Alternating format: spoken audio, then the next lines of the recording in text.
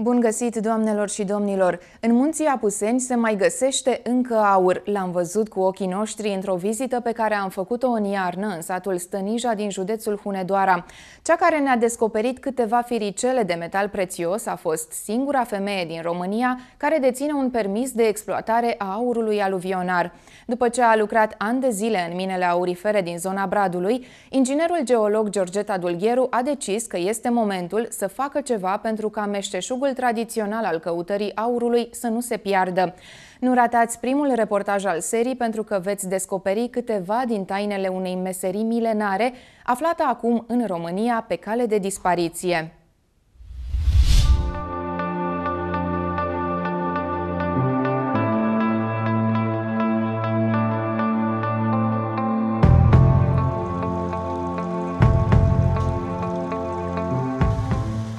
Un proverb românesc spune că meseria e brățară de aur. Georgeta Dulgheru are 52 de ani, iar meseria ei este aceea de căutător de aur. Nu are însă nicio bijuterie care să îi trădeze profesia. A lucrat timp de peste două decenii ca inginer geolog la minele din zona Bradului, unele dintre cele mai bogate zăcăminte aurifere din țară.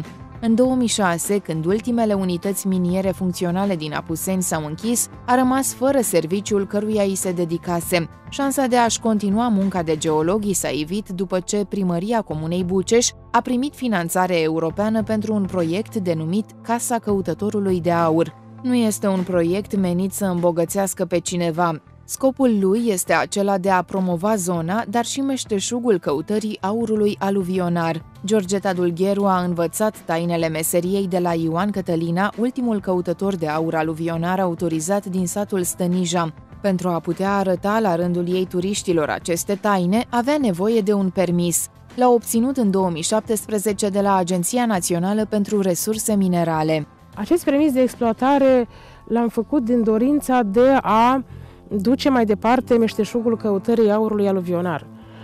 Nu prea mai sunt alte persoane care au așa ceva, cel puțin aici în zonă, din câte știu eu, până prin toamnă nu mai erau ca persoane fizice în România, dar avem un exemplu uh, chiar aici în Stănija care a dominat ani și zeci de ani prin uh, maestria practicării acestui meșteșug, domnul Ioan Cătălina, care acum are 82 de ani. Apoi a fost și menirea unui proiect prin care am fost înființați în 2015 sub forma de asociație Casa Căutătorului de Aur din Stănija.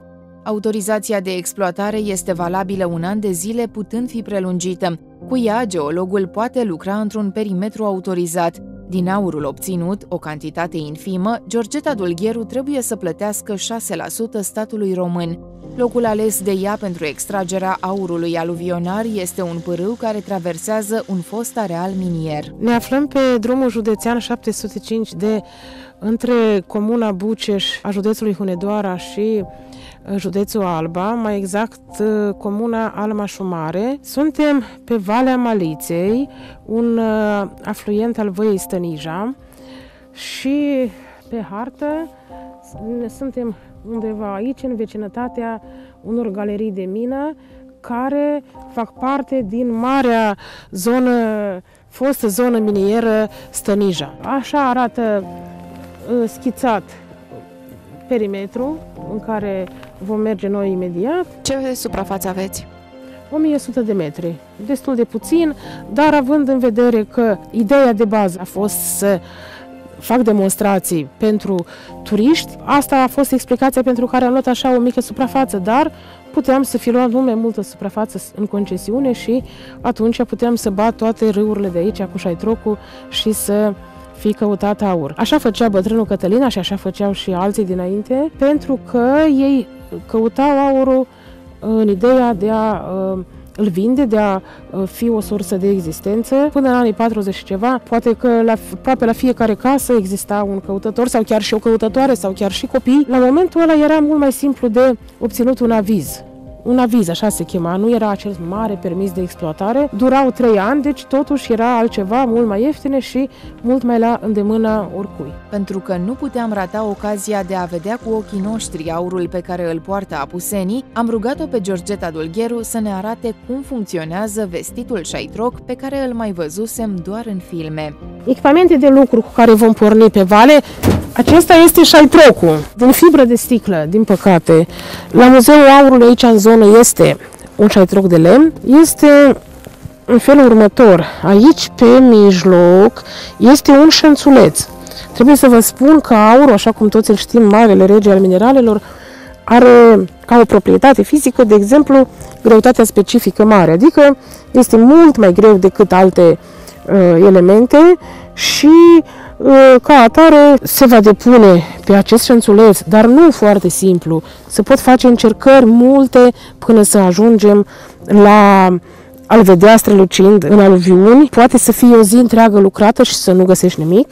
Poți să găsești foarte repede dacă ești norocos și depinde până la urmă de simțul pe care îl ai pentru aur, până la urmă e vorba de experiență categoric. Vom face doar o mică demonstrație dacă o să ne permită condițiile naturale. Cizme, cască de protecție.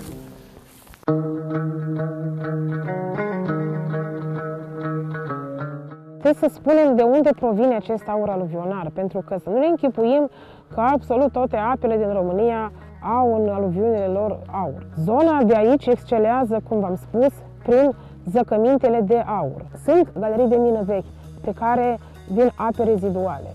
Sunt filoane, poate le vedem în stâncă, acele fisuri mineralizate în care se găsește și aur și care prin spălarea lor și prin alterarea rocilor eliberează aurul nativ și apa îl aduce încoace spre vale. Sau mai sunt halde de steril, cum este și una mai încoace, care la fel nu sunt de un steril 100%, ci se mai găsește cu un firicel de aur pe aici pe acolo și aceste halde la fel, fiind spălate, torenții poartă aurul sub formă granulară, sub formă de foițe sau sub o formă foarte, foarte fină, așa cum sper să vedem și noi astăzi. O să fac două tipuri de demonstrație, fie cu uh, șaitrocul direct din vale, din aluviuni, doar că nu găsim chiar la suprafață. Ar trebui să săpăm poate chiar un metru în adâncime pentru a găsi aurul depozitat în timp sau vom uh, încerca să folosim acest geab pentru a uh, procesa o cantitate mai mare de aluviuni, care este destul de rustic.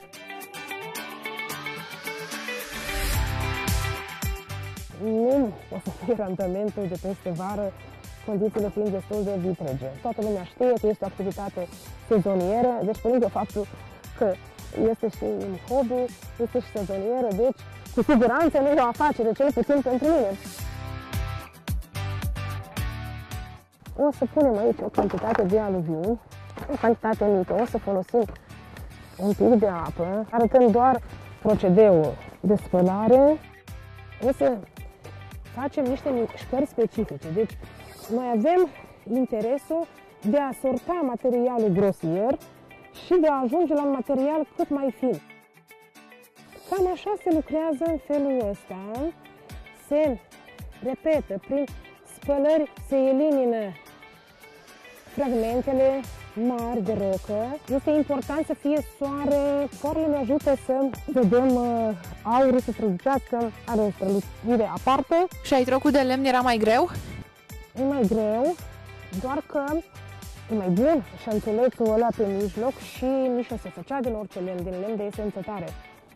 Garanta, lemnul garanta uh, oprirea fragmentelor de aur altfel decât pe acest plastic. El ar putea să depună fie aici, în partea de sus a șanțului, de multe ori așa îl vedem în vârfulețul ăsta de con, sau fie îl putem din coace vedea cum se uh, scurge pe șanțuleț din partea asta. Depinde cum lucrăm, cum facem mișcările, cam ceva de felul ăsta. Deci el ar putea fi aici. V-ați convins că nu se poate face iarna. Acum o să vă arăt și pe șgheab. Când se lucra tot așa, ar trebui să pat material la adâncime.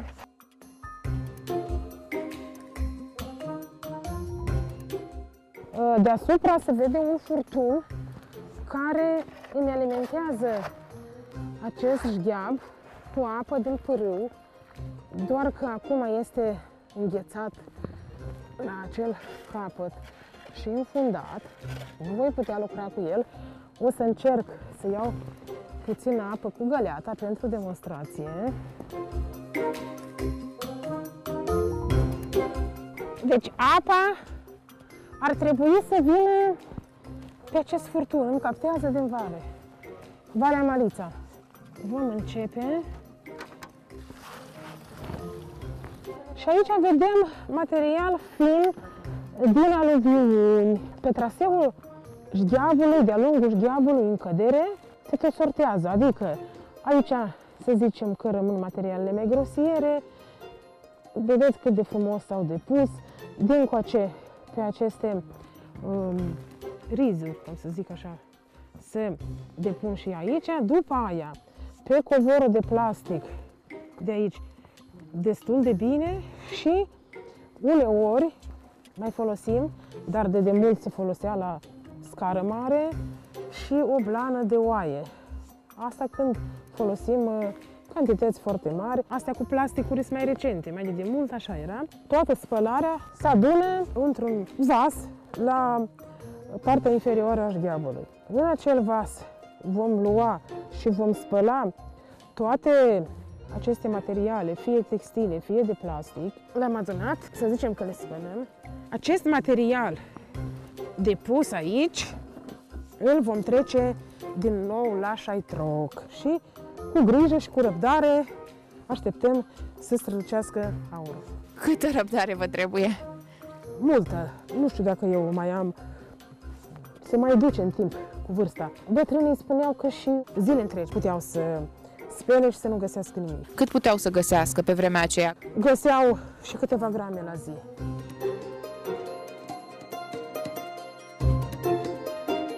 Avem în față harta geologică a munților metaliferi și, mai precis, ceea ce înseamnă poligonul aurifer al munților metaliferi, aliniamentul Brad, Certej, Zlatna, Baia de Arieș, Bucium, aici fiind Buceș, aici este Stănija și zăcămintele de aur aici pe hartă sunt reprezentate cu roșu.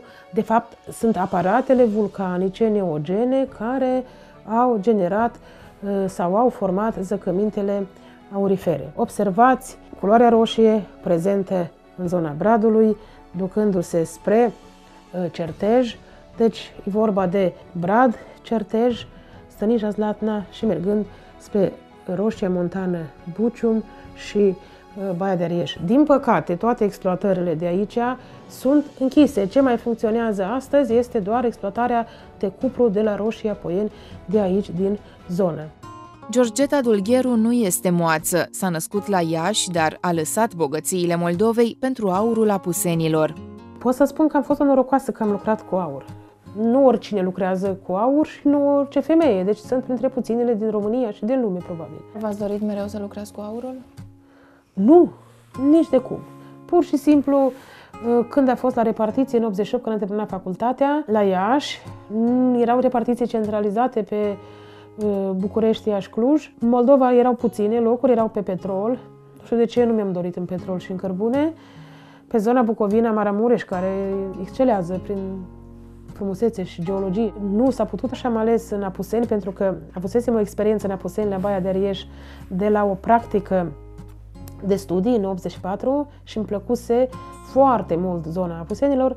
Am ales Bradul. Nu pot să spun că am știut ce aleg. Aici Ia că am aproape 30 de ani de când locuiesc, m-am perfecționat ca profesionist. Aici a fost până la urmă viața mea de geolog și viața mea în general. Am satisfacția că și pe fetița mea am uh, dus-o pe drumul geologiei și geografiei încă de micuță, astfel încât acum este studentă la geofizică la București în anul 3. Am fost iubitoare de munte, cu asta am plecat din facultate, pentru că eu am făcut un liceu de matematică informatică în Iași, în Copou. N-avea nicio legătură cu geologia și cu muntele și cu nimic din ceea ce fac astăzi. În munții metalifere am venit în 1988. La Brad am avut uh, repartiție ministerială ca geolog în minele de aur. Am lucrat aproape 15 ani în subteran. În ce a constat experiența din subteran? A constat în multe cunoștințe despre aur. Adică am avut onoarea și norocul să văd încă acumulări de aur nativ, aur masiv în front. Au fost mai multe zăcăminte, unele mai sărace, altele mai bogate. Ultima dată, prin 94, cred, am lucrat la unul de Carpen, se numește zăcământul, la unul din cele mai bogate sectoare și la unul din nivelele inferioare din Puț, echipa care lucra în front ne-a anunțat că au găsit aur nativ. 12 kg au fost. Am avut satisfacția să văd aur masiv în front. Pentru că aur putem vedea cu toții vizitând Muzeul Aurului, aur nativ, sub diferite forme. Cred că pe toate le-am văzut în subteran, nu pe piesele de acolo, ca forme. Și filiform, și mușchiform, și diseminat în rocă, și uh, în minereu. Trenulețul care ducea 40, 50, 60 de uh, vagoneți cu piatră sterilă sau cu minereu, ducea minereu comun, ca să zic așa. Adică ăla ieșea de pe gura de mină, mergea la uzină, urma o etapă de sfărâmare, prelucrare, prin flotație sau cianurare, depinde de natura zăcământului și ajungea uneori să scoatem și doar un gram la tonă. Asta era mai pe final, prin anii 2000 uh, și ceva, când aproape de închidere. În condițiile în care în anii de glorie ai mineritului din Brad și din Stănija, spun bătrânii că se scotea cu vagonetul aur, aur nativ, aproape pur, nu era chiar pur. Aurul nu este de puritate maximă de 24 de carate, poate foarte rar. El de obicei este în aliaj cu uh, argintul, cu ceea ce înseamnă aliajul electrum. Uh, dacă are mai mult argint, are o nuanță albă, spre albicios, Asta înseamnă de fapt și aurul alb. Dacă e aur roșu, de fapt e cu cupru și din nou scade calitatea aurului, dar este avantajul că îl ține în formă. Adică îi dă o oarecare duritate pentru că el are ca element chimic o duritate foarte scăzută. Fiecare zăcământ, deși avea o intrare comună, uh, erau diferențiate la un moment dat, avea un colectiv de conducere. Un șef de sector, niște maestri care stăteau tot timpul cu minerul, un geolog, un topograf, uh, un normator și geologul avea uh, menirea să și obligația să urmărească în fața uh, inginerului minier filonul, să-l probeze periodic, să vadă dacă merită să fie exploatat, să verifice calitatea lucrării, dacă se respectă filonul, dacă se merge pe porțiunea bună, iar la final de lună se făcea recepția, lucrării, mergeam în abataj, urcam cot la cot cu bărbații, niciodată nu am simțit că sunt inferioară cumva uh, bărbaților, chiar din contră am fost foarte respectată și de colectivul de cadre tehnice și de mineri. Era un anul 1988 când am venit eu, era în jur de 6.000 de angajați la acest mare colos numit Mina Barza Brad. Eu nu-i merețim pe toți, dar ei astăzi mă întâmpină și mă salută și mă respectă și asta înseamnă o mare bucurie. Care era partea cea mai grea până la urmă pentru o femeie să lucreze în mină? Efortul fizic nu era ușor. Uneori, dacă nu prindeam trenul și aveam uh, de mers 3-4 uh, km, mergeam și pe jos, singură, dar știam semnalizările trenurilor, știam să mă adăpostesc, învățasem totul ca un miner. Confortul, cum v-am spus, nu am lucrat la birouri, condiții de temperatură, diferențe mari de schimbare de temperatură pe galeriile de mină de acces, erau curenți, era praf, era noroi, era, am căzut în canal, am întâmplări de astea pe care azi le povestesc cu drag. În schimb, era și o parte frumoasă și bună, salarii bune, nu știu, n-am întâlnit încă pe cineva să spună că regretă viața din minerit. Eu n-am regret, era greu și riscant. Adică, poate se putea întâmpla un accident. Nu l-am luat în seamă niciodată, deși am avut și de asta parte să-mi pice o piatră. Dar vina a fost a mea, am intrat în zonă interzisă, care pe traseu până ajunge la mine s-a desfăcut în două și am văzut moartea cu ochii.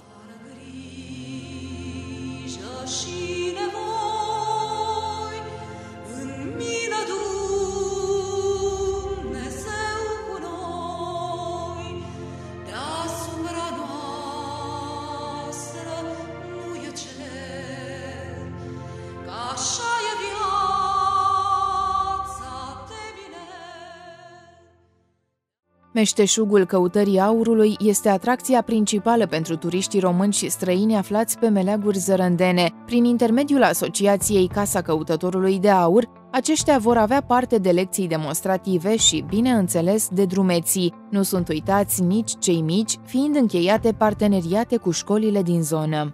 Împreună cu domnul primar am început să facem uh, fel de fel de socotele, de variante despre ce putem face împreună, despre a duce mai departe meșteșugul, despre a dezvolta turismul în Stănija și în Buceș, mai ales cel cu specific minier, pentru că asta a dominat aici în zonă. Printre alte activități am avut și de construit o cabană turistică cu destinația cazare pentru cei doritori să cunoască zona și mai ales pentru cei care vor să meargă să practice acest meșteșug. Trei camere cu 12 locuri acum pregătite, dar mai am și două paturi pliante la etaj și în total ar fi 14. Am făcut parteneriate cu școlile din zonă, cu muzee din zonă, cu Muzeul Civilizației Dacice și Romane. Am început să aduc copiii în uh, ceea ce înseamnă școala altfel, în parteneriat cu Consiliul Județean și prin finanțare pe ONG-uri de la Consiliul Județean am făcut 2 ani zilele aurare la început de august, în perioada în care tocmai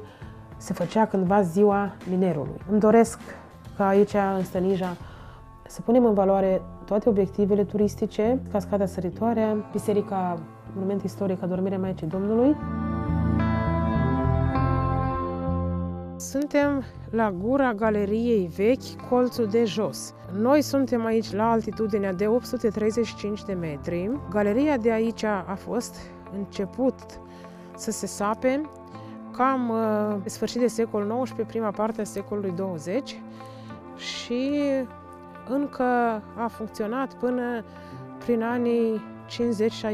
Lungimea ei este de 1200 de metri, trece pe la acest nivel dincolo, în județul Alba, la intrarea de mină Muncăceasca, spre Alma Mare. Puțin mai sus de noi, începe un ansamblu întreg de galerii de mină vechi, la acel moment, anii 30-40, fiind uh, sub custodia, ca să zic așa, a societății Min Dor de Stănija, o societate franceză, dar ca vârf al activității și al producției miniere și aici în zonă, și la Brad, și în toți munții Apuseni, în acest poligon aurifer al munților metaliferi, a fost pe vremea societății Mica, o societate care a funcționat în, între anii 1922-1948 cu producții record de aur. Toate minele despre care am vorbit astăzi au ca scop principal extracția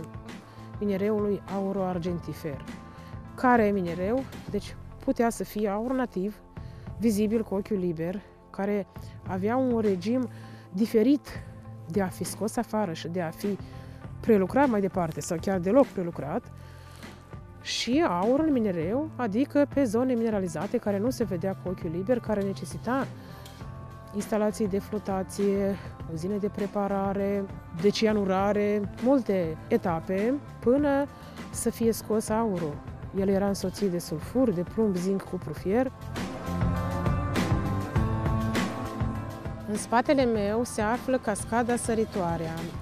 După cum se vede, este afluent de dreapta al văii Stănijei, și lungimea de la prima treaptă până la vărsare este de 96 de metri. Aparte față de alte cascade este că se dezvoltă pe roci vulcanice andezite, așa cum sunt aproape peste tot aici la noi, iar undeva mai sus s-a practicat și acolo căutarea aurului aluvionar. După cum um, vedeți, accesul este foarte ușor, așa că putem să invităm pe oricine să vină să parcurgă, fie pe aici unde am venit noi, fie pe un traseu modernizat, care este mai lung, dar mai frumos, cu trei podețe peste apa Stănijei și care urmează a fi definitivat în acest an de către Primăria Comunei Buceș. Biserica din Stănija de Jos este un punct de atracție turistică Autoritățile depun tot efortul pentru promovarea acesteia, însă, fiind o zonă mai retrasă din munții Apuseni, foarte puțină lume o cunoaște prin istoricul ei, prin frumusețea picturii. Pictura a fost realizată de către pictorul Constantin Zugravul, un pictor care făcea parte din familia Cantacuzinilor. Biserica a fost rămutată din localitatea Straja înainte de începerea Revoluției de la 1848-1849 pentru a se evita distrugerea ei. În anul 2009 a fost uh, început uh, proiectul de reabilitare și reconstrucție a Bisericii Monument Istoric de la Stânija de Jos, cu sprijinul uh, exclusiv al Ministerului Culturii și a Cultelor. Un alt punct important pentru turiști este atelierul de lucru al bătrânului aurar Ioan Cătălina. Aici sunt expuse și mici colecții de eșantioane mineralogice. Suntem în atelierul de lucru, în vechiul atelier de lucru al domnului Ioan Cătălina. Avem niște instalații pe care dânsul ne le-a lăsat. Mai avem uh, uh, colectate piese de geologie și echipament de minerit din uh, perioada modernă, ca să zic așa, a echipamentul de minerit, iar uh, piesele le-am uh, adunat de prin donații, schimburi cu alți colecționari din România. Aici este o moară cu bile, undeva pe aici se introduceau bilele, iată sunt acolo, sub acțiunea curentului se pornea instalația și într-un anume timp se sfărâma uh, minereu bolovanii de minereu conținând aur. După aia urmau alte etape, aici de exemplu ar fi instalația de amalgamare, fiindcă sunt geolog de profesie și având și experiență lucrând la Muzeul Aurului din Brad, mi-am dorit și o colecție de flori de mină și de roci pe care să o vadă toată lumea. Am adunat aici roci din munții Apuseni, roci purtătoare de zăcăminte aurifere, cu sulfuri, cum ar fi pirita, aici sulfura de fier, despre care știți că se mai cheamă aurul prostului, cu Uh, sulfur de plumb, zinc. Aici ceva foarte spectaculos, semiprețioase, agate, calcedonii, jaspuri și toate sunt din zona noastră. Ce le place foarte mult copilașilor este această bucățică de auri pigment. Este o sulfură care are într-o formulă lungă chimică și elementul aur, nu-l vedem cu siguranță, dar e frumoasă la culoare eu, prin permis, am voie să aduc material și să prelucrez aici, cum ar fi în această perioadă, de exemplu. Deci, șaitroacele și la lucru. Deci aici, pe banda asta, pe latura asta, se vede destul de bine, așa că ați văzut. Da, o strălucire aparte, nu seamănă cu pirita, cu sulfura de fier. Deci gândiți-vă cam care e afacerea mare cu acest aur aluvionar.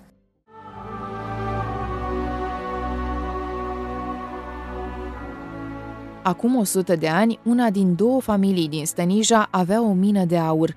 Astăzi, oamenii au plecat să caute bogățiile în alte părți. Minele sunt închise, satele depopulate, iar zona, deși extrem de frumoasă, îi atrage pe străini mai mult decât pe români. Munții noștri aur poartă, noi cerșim din poartă în poartă. Am simțit nevoia să dăruiesc și mai departe până la un moment dat când mai pot să ofer și eu mai departe comunității în primul rând. Ideea mea pe care merg în viață, la fel cum mi-a spus și fetiței mele, este să dăruiești mai întâi și după aia să pretinzi. Mai poartă munții noștri aur? Cu mare siguranță. Am participat la documentația de închidere de rezerve pentru zona Brad și știu ce a rămas, da, în toate zăcămintele există încă aur și pe văi există aur în munții Apuseni. Și doar asta e comoara din Apuseni? Nu, comoara de Napuseni sunt oamenii. Oamenii, moții, creșeni, moții, zărândeni, moții din Apus, de dincolo, din Arieș. Nu, oamenii, până la urmă, omul sfințește locul și până la urmă oamenii au descoperit și zăcămintele, da? Poate că au fost alții, da? De multe mii de ani, dar tot omul a făcut totul. Uh, sunt multe meșteșuguri care mai trăiesc încă aici și nu mai trăiesc în altă parte sunt cadre naturale de o splendoare aparte, ă, apusenii sunt ă, altfel și tradițiile și obiceiurile, după cum v-am spus.